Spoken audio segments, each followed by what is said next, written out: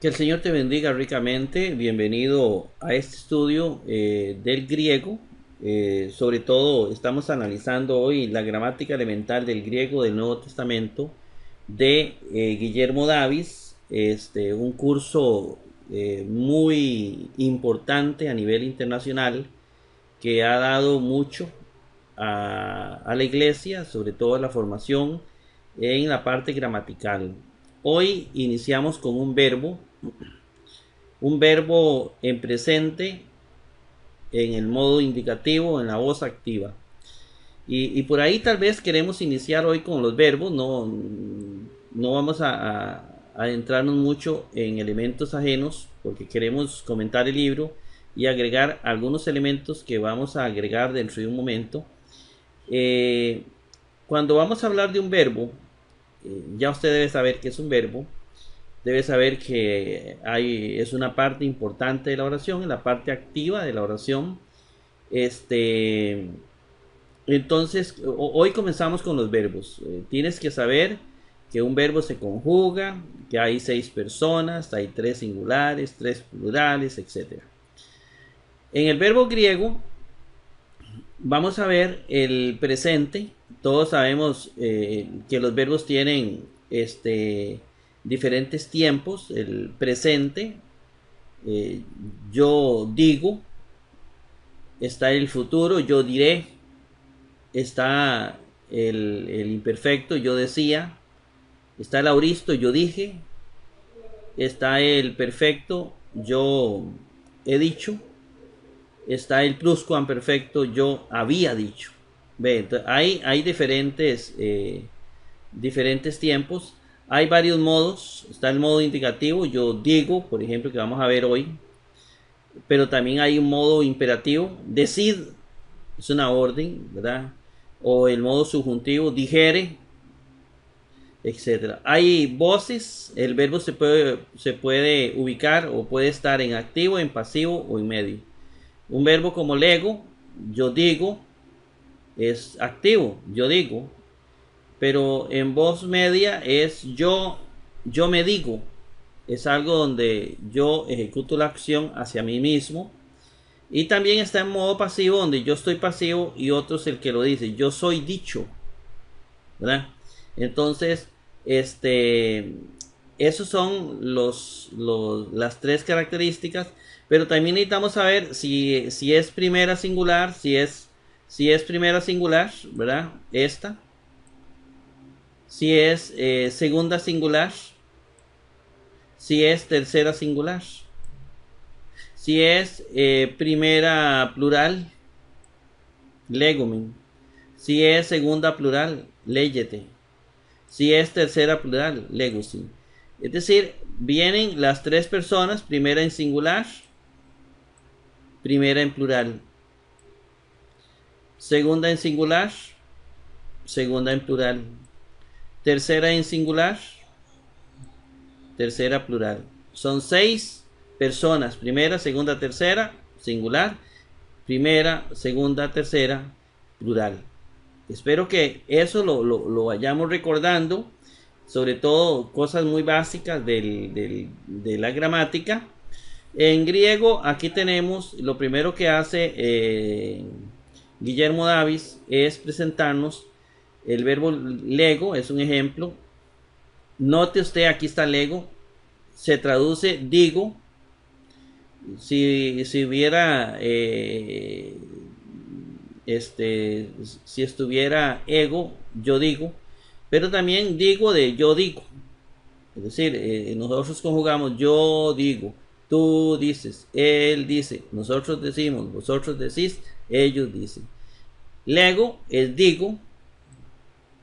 Legis, tú dices, dices, ese tú no se pone si no viene, pero es para que me entiendan.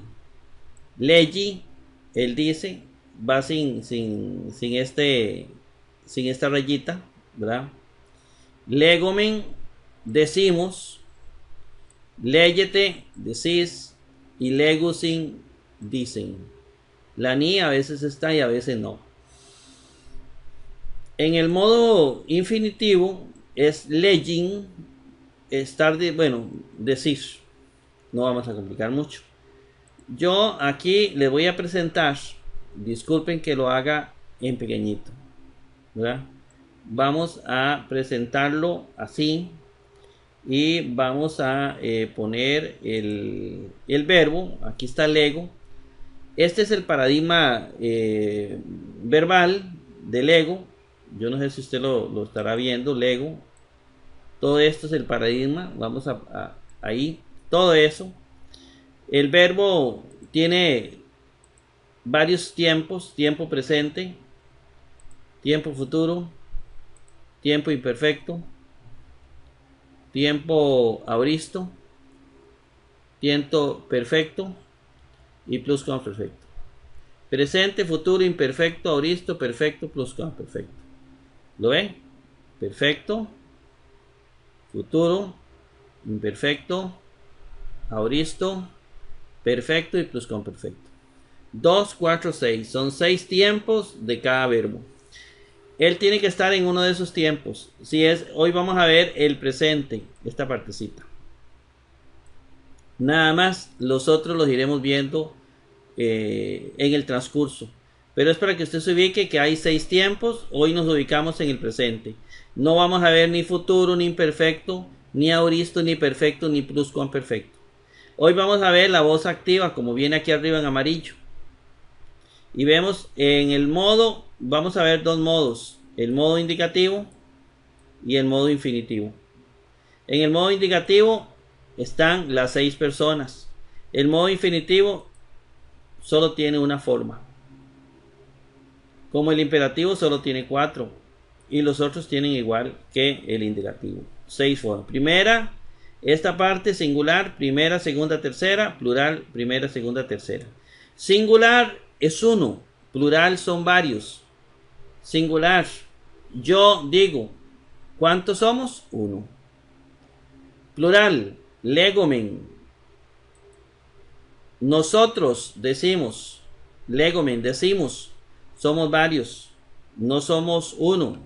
Somos varios. Eh, somos, somos varios. Entonces, aquí estamos con este eh, segundo es singular. Tú dices, leyes, dices, leyes, dices, tú dices, usted es uno. El segundo plural, leyete, vosotros decís, vosotros son dos o más.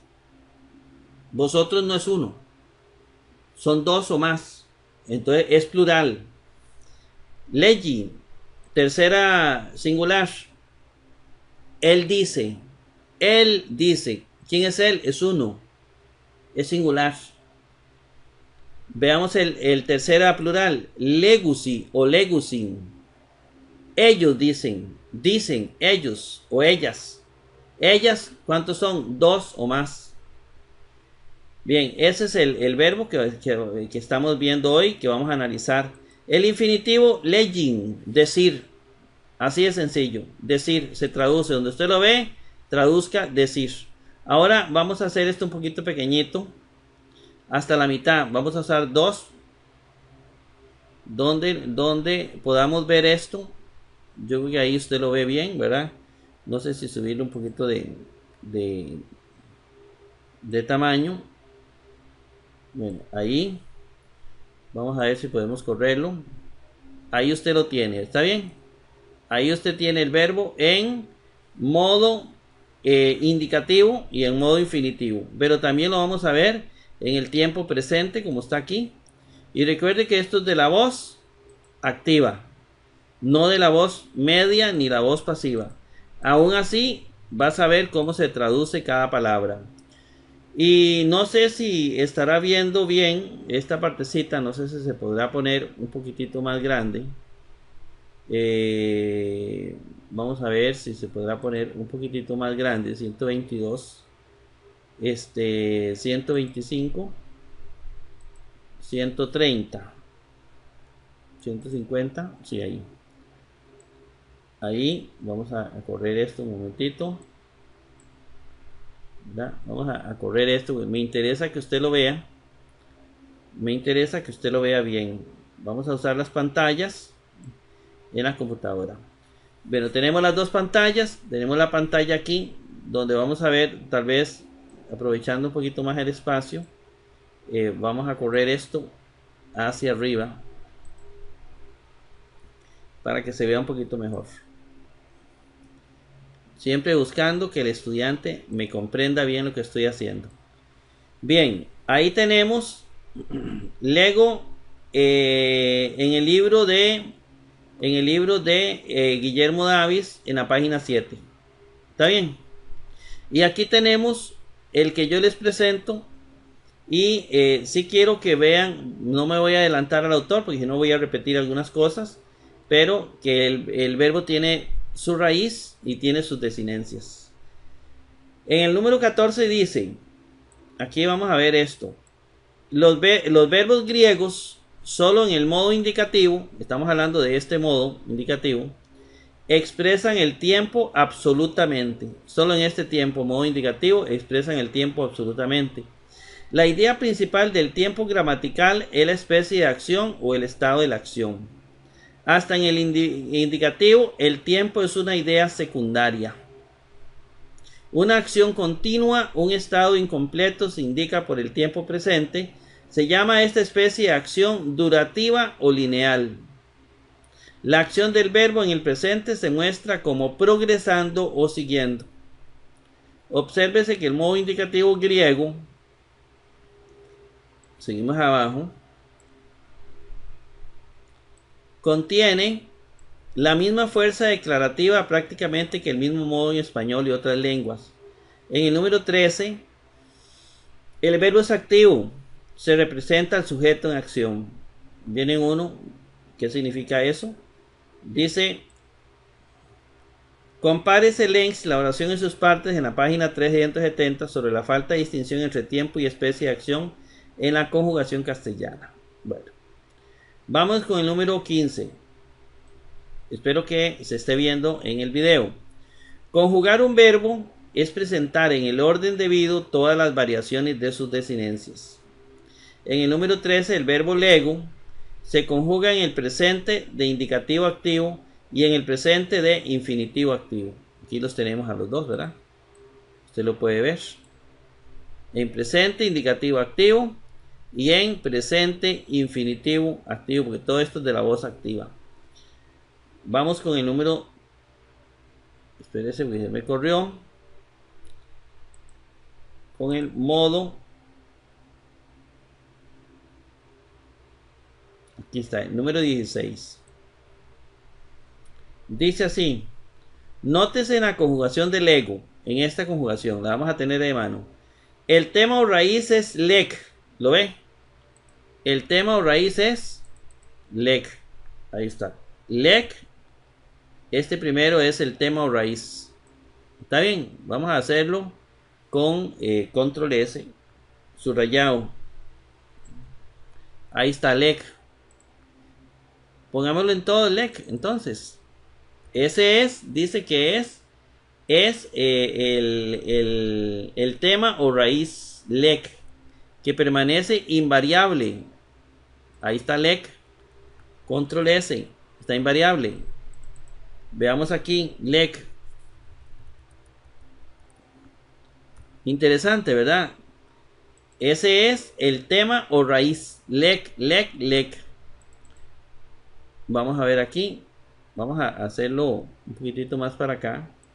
Porque nos está dando el problemilla de que lo corre. LEC Aquí está. Tema raíz S. Lec. Tema raíz S. Vamos a separarlo. Tema raíz lec. Pero también en el infinitivo, modo infinitivo. Vean ustedes que la raíz se mantiene igual. ¿Lo ven? Dice que lec permanece, el tema o raíz lec permanece invariable. ¿Verdad? ¿Lo ven? Invariable. En todos lec, lec, lec, lec. Esta vocal, perdón, sí, el 2, sigue a este tema una vocal. Sigue a este tema una vocal. Bueno, vamos a ver cuáles son las vocales. Esta vocal es o delante de las desinencias que comienzan en mi o ni, número 18, pero epsilon delante de otras letras. Esta vocal variable, representada a veces por omicron o epsilon, se llama la vocal temática. Hay una vocal temática. Vamos a irla viendo, la vocal temática, no sé si... Vamos a esperar un momentito aquí, a ver si aquí venía la vocal temática. Sí, aquí viene. Eh, la vocal temática la vamos a encontrar en legomen. Antes de M, de mí, ¿verdad? La vemos. Antes de ti, la epsilon. La otra no tiene vocal temática. Pero aquí encontramos la vocal temática, la omicron y la epsilon. Para no perdernos, ahora vámonos otra vez a lo que estábamos diciendo. Ya ahí vamos viendo bien interesante el asunto. Dice que sigue a este tema una vocal. En le, la omicron, ¿lo ven? Le, e, le, o, le, e. Una omicron, una. Y dice que esta vocal es o delante de las desinencias que comienzan en mi o ni. Aquí está mi o ni. Dice, pero epsilon delante de otras letras. Entonces, delante de mi o ni se va a poner una O. El resto de letras se pone una E. Estamos. Esta vocal variable, ¿verdad? Representada a veces por omicron, epsilon, como ustedes lo ven aquí en estas dos, se llama la vocal temática. 4. Después de la vocal temática sigue una desinencia, una terminación. ¿Lo ven? La O, is, I, O, la men, la T, etc. Dice que una desinencia, la terminación personal, véase, claramente notada en men y T. Men y T, ¿lo ven aquí? De la primera y segunda persona del plural. Aquí leyete, decís, Leyete esa que está aquí, que ustedes ven aquí. ¿verdad?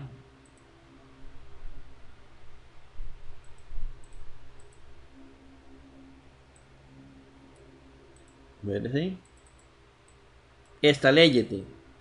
Dice. Después de la vocal tema, dije, así leyete está compuesta por el radical o raíz, leg, la vocal temática e, epsilon, y la desinencia personal T. ¿Lo ven? Seguimos. Vamos a ir entendiendo un poquito más este caso del verbo. Dice, las desinencias de los tiempos primarios. ¿Qué son los tiempos primarios? En el número 2 nos va a explicar qué son los tiempos primarios. Los tiempos primarios son el presente, el futuro y el perfecto. El secundario, el imperfecto, el auristo y el pluscuamperfecto. Esos son los tiempos eh, secundarios. ¿Estamos claritos? La desinencia, entonces viene aquí otra vez. Vámonos de nuevo para entender. La desinencia de los tiempos primarios, es decir, del presente, del futuro y del perfecto, de la voz activa en su forma original, ¿cómo fueron? Era mí, en la primera persona, vean lo que terminó, ¿verdad? O era sigma por sí, sigma por sí, eh, tú, sí por ti, él, ella, sí por ti, men, ahí se mantiene men, ¿lo ve? T, ahí se mantiene T, nada más que se le agrega la vocal temática y, y aparece la sí que por ti. ¿Está bien? Ellos o ellas. La desinencia son restos de pronombres personales. De ahí se deriva esto, ¿verdad? Vámonos, vámonos al otro lado. Página 9. Página 9. Se puede representar la vocal temática con las desinencias de la manera siguiente. Omi es, esi, esi, eti, omen, ete, onsi, onti. Y ahí ustedes ya ven las variaciones. Vamos con otro. Aquí. Espero que lo esté captando la pantalla. Estoy haciendo mi mayor esfuerzo para que quede bien. Probablemente la desinencia omega, la desinencia omega, la ven aquí. Dice, de la primera persona singular, ¿de dónde sale entonces la omega? Resulta de la pérdida de la desinencia mi. Se perdió mi. ¿La ven aquí? Se perdió mi, dice. Resulta, y vamos de nuevo para ver cómo se formó O, de OMI se formó O, ¿verdad? Y viene la, vocal temática más la desinencia, que era O, mi, es, esi, omen, ete, onsi. ¿Cómo se forma? El autor lo está explicando. La desinencia O, entonces tenemos que la desinencia O de la, de la omega de la primera persona resulta de la pérdida de la desinencia mi. Se pierde mi. Se pierde mi. Y el alargamiento de la vocal temática O, digamos, eh, Omicron a Omega. Esta O se alargó. Entonces termina alargándose. De corta pasa larga. Y queda la raíz más O. De ahí surgió la omega. ¿Estamos claritos? Ahora, Ace y A. ¿De dónde sale Ace y A? Que se forma es Esi o Esi Eti. Dice que segunda y tercera persona respectivamente. Eh, Ace y A resultan de Ace y A. ¿Lo ven? Resultan de Esi y Eti. Esi y Eti, segunda y tercera persona respectivamente. Entonces de Esi y Eti sale Ace A. ¿Verdad? Segunda C. En Onsi, ¿verdad? De la tercera plural, de donde sale Usin, de Onsi Onti este, la ni se pierde y la o se alarga en u. Esta variación de vocal o en u se llama alargamiento compensativo. ¿Estamos claritos? Ahí el autor está explicando de dónde nacieron estas letras. Yo sé que a muchos de nosotros pues no nos interesa ahorita, pero es para conocerlo bien, para conocerlo. Y el autor le interesa darlo a conocer. Vamos con este, el número 19. De la combinación de la vocal temática y las terminaciones personales resultan las siguientes. O, yo, ¿verdad? Esta O. Eis, tú, eis. Yo amo, tú amo. Yo digo, tú dices, él dice. Ey, él, ella, ello. Ahí la ven. Omen, nosotros amamos, nosotros decimos. Ete vosotros decís, ellos dicen. Usi, ellos dicen. Legusi. De ahí viene usi, usi. Y el autor dice, el estudiante debe dominar bien estas formas. Ellas son indispensables para un estudio más avanzado. Sobre todo apréndase esta terminación. O, eis o is, ei o i, omen, ete, usi o usi. In in o ein. Espero que me vayan entendiendo. Eso es muy importante para que realmente entendamos el griego y podamos servirle mejor al Señor. El infinitivo ein no tiene terminaciones personales como estos. Yo, yo digo, tú dices, etc. Porque es un sustantivo verbal. Es un sustantivo verbal sin modificaciones en la declinación. Resulta EIN de la contracción de la vocal temática E y la antigua terminación del logativo en o en. Vienen algunos ejercicios de pronunciación que yo voy a usar un poquito el griego moderno, que tal vez a usted le va a ayudar para que usted vaya mejorando. Traduzca. Blepi B. La terminación EI, la B. Bepo, blepo es ver. Termina en EI, la B, aquí. Tercera persona. Yo veo, tú ves el B. Entonces sería blepi es B. Aquomen. La terminación es omen. Primeras, primera plural. Y aquomen es escucho. Oímos. Nosotros oímos. Ginosquete, conocer. Verbo ginosco, conozco. Ete, y lo vemos aquí en la segunda persona. Ete, en la segunda persona plural, ¿lo ven? Que sería conocer. Ete, vosotros conocéis, conocéis. Luego viene el número 2, Lambanusin, Lambano Tomás. Y Usin, aquí lo vemos, ¿verdad? Usin, aquí está Usin. Usin, Lambano Tomás. Yo tomo, nosotros tomamos, vosotros tomáis, ellos toman. Sería toman. Lambanusin es toman. Luego sigue grafeis o grafeis o grafis. Grafeis, grafis. Eh, terminan eis. Es este. Segunda singular.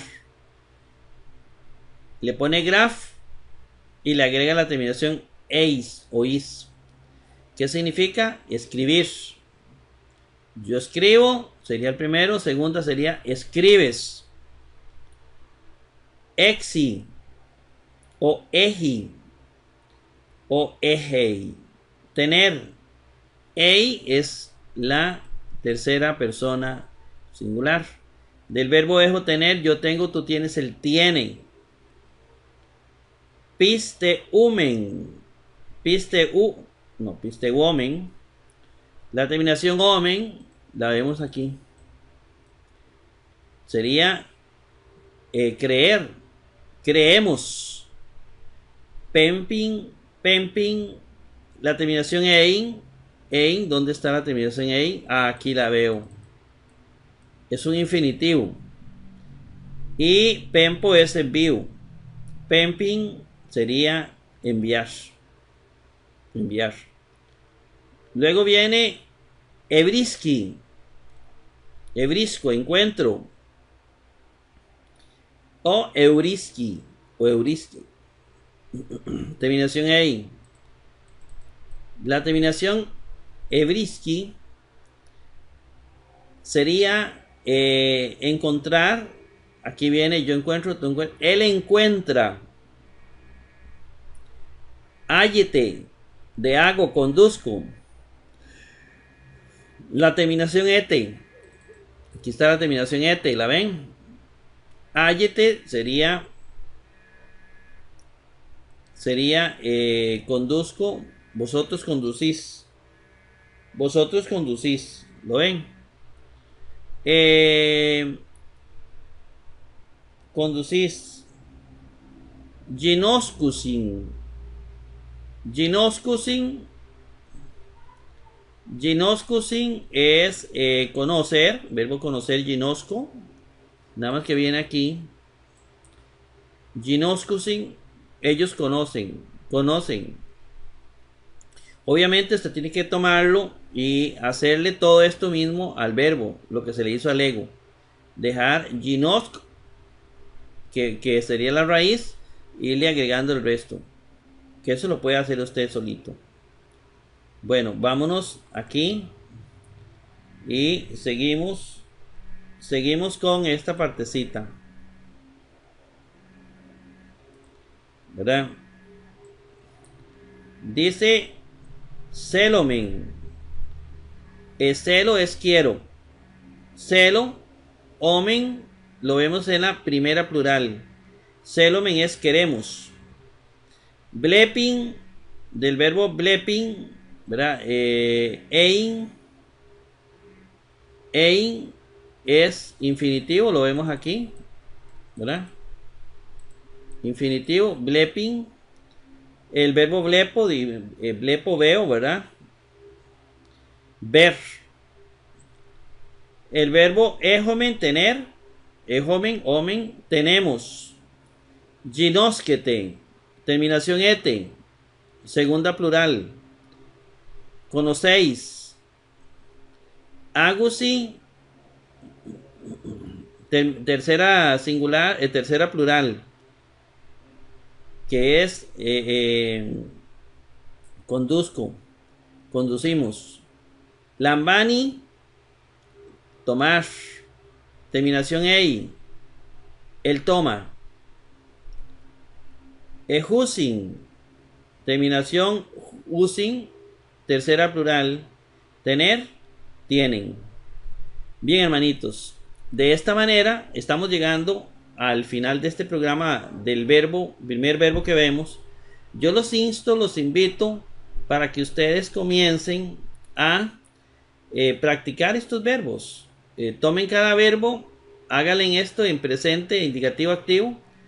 Y, yo creo que vamos a, a ser perfectos en griego. Vamos a mejorar. Vamos a ir aprendiendo cada vez más. Espero que hayan entendido y comprendido esta breve clase de griego eh, Que el Señor me lo bendiga ricamente y nos vemos en un próximo programa.